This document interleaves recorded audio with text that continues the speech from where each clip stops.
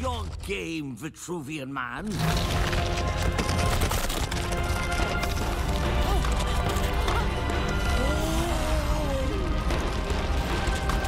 I withdraw the question, Vitruvian man.